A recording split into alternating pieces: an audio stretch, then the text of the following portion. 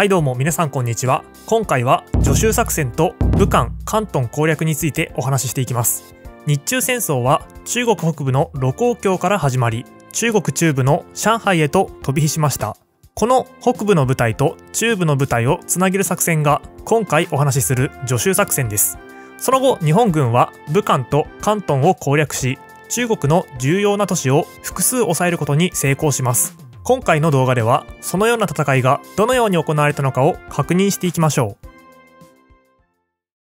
日中戦争が拡大し中国が降参してないことが分かってくると日本軍は中国の主要都市の占領に乗り出しました。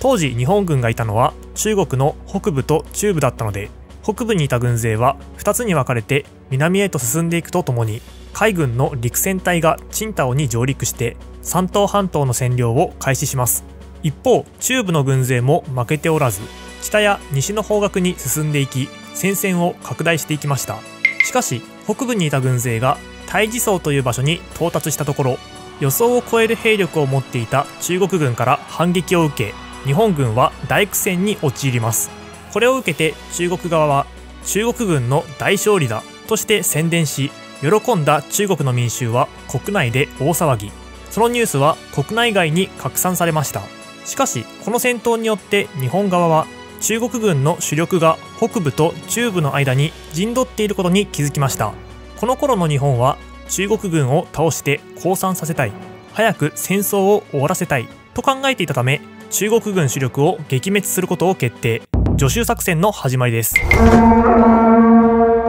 徐州というのは場所の名前で日本軍がいる北部と中部のちょうど中間にあたるような場所でした。ということでこの作戦は北部にいた軍勢が北と西から中部にいた軍勢が南と西から攻め込んでいき中国軍の主力を大きく包囲した上で一気に撃滅を行うという作戦でした。こうすることで占領地域をつなげることができ壊滅した中国軍は降参してくるという見通しだったのです。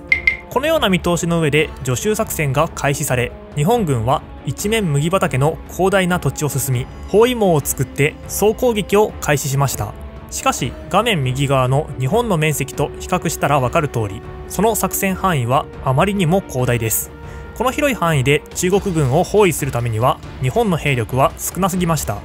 中国軍は日本軍の包囲網をかいくぐり西へと逃走。日本軍が徐州に到着した頃には中国軍はすでにいなくなった後でした。こうして日本軍は占領には成功したものの包囲殲滅には失敗。中国軍主力に決定的な打撃を与え降参させることはできなかったのです。そうなると日本軍は西へと向かう中国軍を必死に追撃し始めます。これを受けて中国軍は増援部隊を派遣。反撃を開始しました。しかしその反撃方法は驚くべき方法でした。なんと黄河の堤防を爆破して決壊させ追撃してくる日本軍を水攻めにしたのです。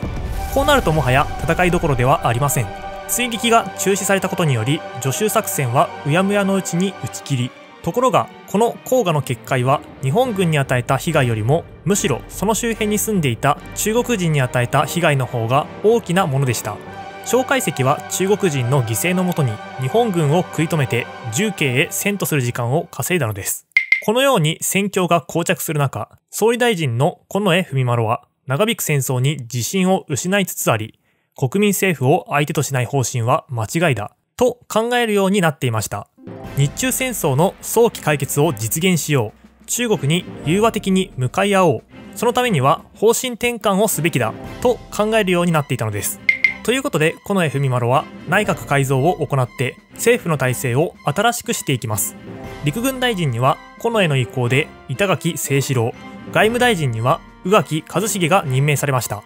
板垣清志郎といえば陸軍で不拡大方針を訴え続けていた石原幹事と親しい人物で宇垣一茂といえば宇垣派の中心人物です。要するにこの内閣改造は日中戦争に積極的な方針を取る陸軍の統制派に対して消極的な方針を取る石原派宇垣派をぶつけ日中戦争を終わらせることを狙いとしていました。こうして近衛改造内閣は国民政府を相手とせずという声明は余計なことを言ってしまった。うまく取り消して本年度中に日中戦争を終わらせるという方針を決定したのです。しかしここに陸軍の統制派が巻き返しを図っていきます。統制派の東条英機が陸軍次官に就任していたのです。東条英機は14歳の頃に陸軍幼年学校に入学しその後中央幼年学校を経て陸軍士官学校を卒業。部隊勤務の後に陸軍大学校に入学するという幼い頃から陸軍の中で超エリートコースを歩んできた人物でした。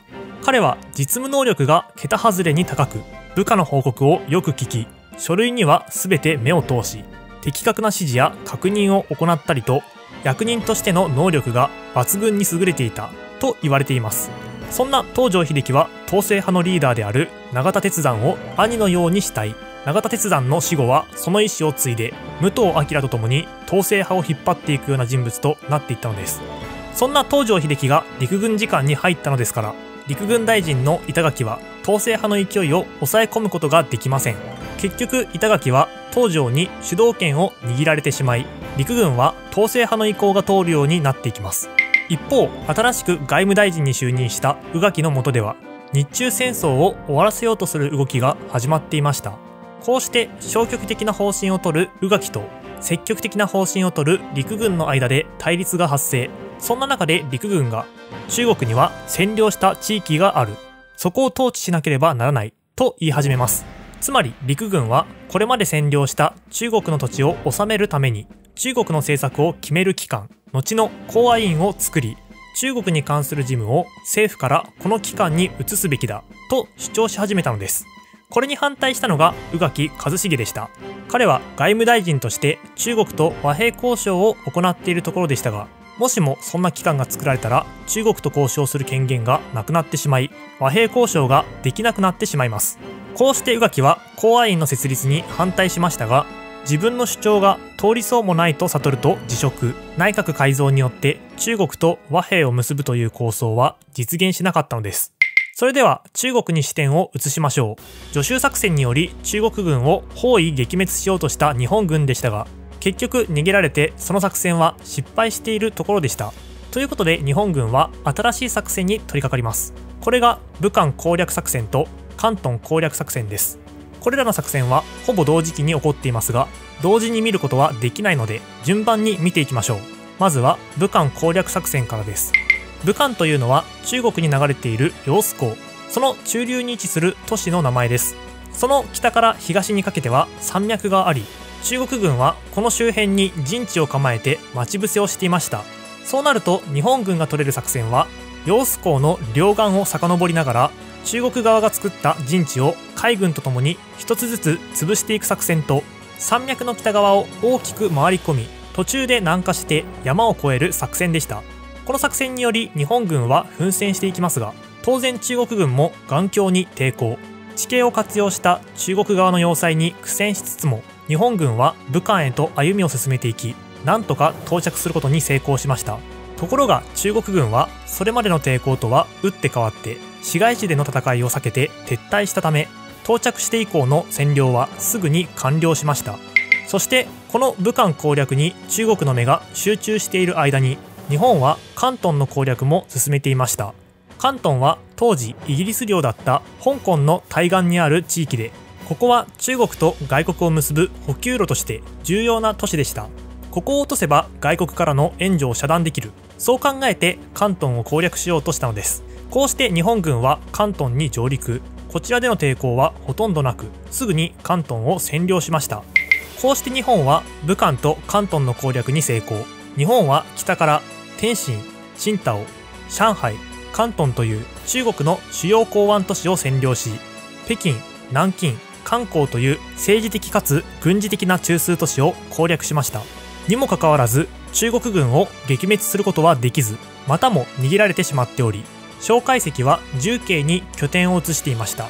まだ戦いは終わっていない。我々は徹底抗戦を行う。そのように主張しており軍事力によって国民政府を屈服させる見通しはほとんどなくなってしまったのです。しかも日本軍は兵を大陸に派遣しすぎています。すでに派遣された兵の多くは占領した土地の治安維持を行う必要があるためにその先に進むことはできずかといって日本国内に残っている兵力は北への備えとして確保しておかなければいけないため中国に送り込める兵力はもうほとんど残っていませんでした。つまりこれ以上の大規模な作戦は不可能となったのです。こうして日本軍は完全に泥沼に入り込んでしまい日中戦争は長期の持久戦となっていきます。